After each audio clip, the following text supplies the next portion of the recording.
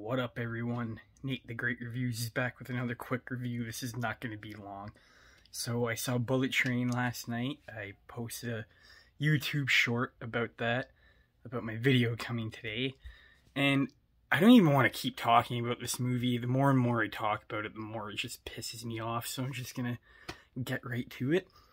The first act, the first and second act of this movie are messy. This whole movie's a mess but at least the second act when Aaron Taylor Johnson comes in, his acting is really good and it steals the show. I really, really liked him. I didn't like him at the beginning because I'm not used to him having a British accent, but he fucking grew on me for a while. If it wasn't for him, I probably would have walked out of this movie if my mom wasn't with me. It was that over the top and boring when you try to go so bonkers and everything with so many characters and then you try to add a story in there that's not interesting.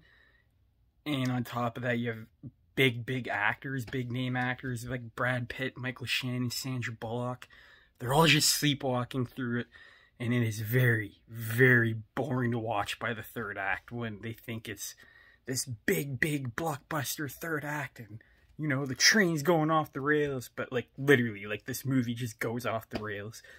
And as I always say, like Brad Pitt said in the movie, I mean, yeah, Faith's a shit deal, but I mean, $40 of this movie was a fucking shit deal. It was a waste of fucking money and time.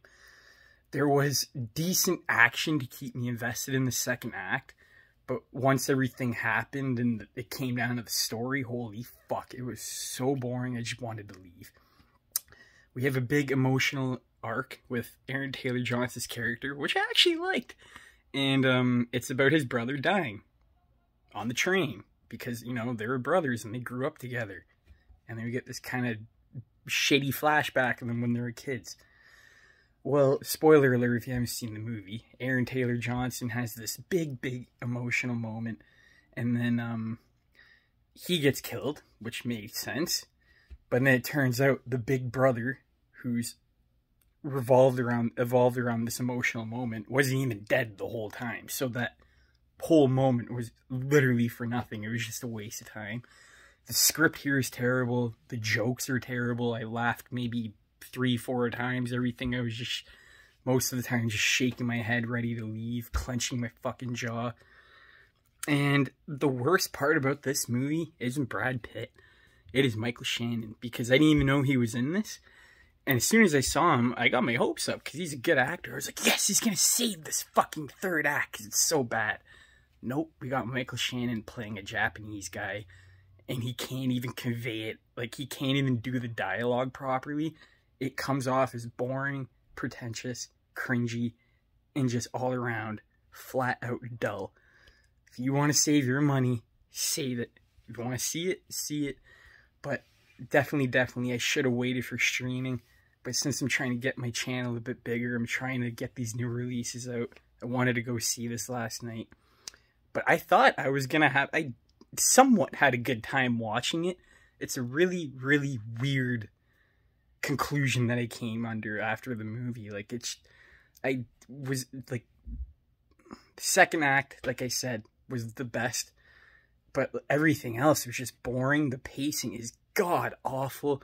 We go to Brad Pitt, and then Bad Bunny, and then a bunch of other characters, and then it's 30 years later, and then 20 years later. The only good actor in this was the Asian guy from the beginning of the movie. If you've seen the movie, you know what I'm talking about. I'm not going to get into spoilers. He has a pretty good emotional arc about his son getting pushed off a, you know, a fucking building, no one's getting killed. The beginning of the movie is really emotional, and I was all in for it. And I was expecting a stupid fucking ride, but when it gets to that point, they don't even handle it good. The action isn't good I thought it was a cool concept that Brad Pitt doesn't have a gun on the train, and then, you know, you can fight with a bunch of different weapons, like a briefcase or fucking chopsticks or something. You know, make it a bit more interesting. But, um, there's maybe two or three good fight scenes, and then uh, someone getting vomited on.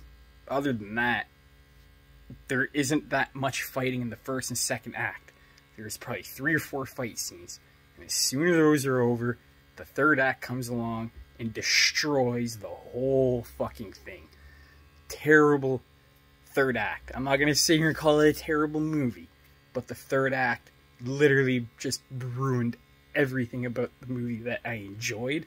So now every time, every time I think about Bullet Train, it just I barely have anything positive to say. Even though there is a couple of good things, it's not the worst movie ever made, but they built the act up to be so good, and I thought it was gonna be good. And half the time you don't even see people getting killed, and that's stupid considering this is an R-rated movie. So let me know in the comments what you guys think of Bullet Train because I've never been a fan of the fan of Brad Pitt, and I'm still fucking not. This doesn't change my mind. If anything, it made it worse. I think he's he's a. I've always thought he's not been the best actor other than Inglourious Basterds. That was a pretty good role for him. But other than that, him and Johnny Depp, super, super overrated.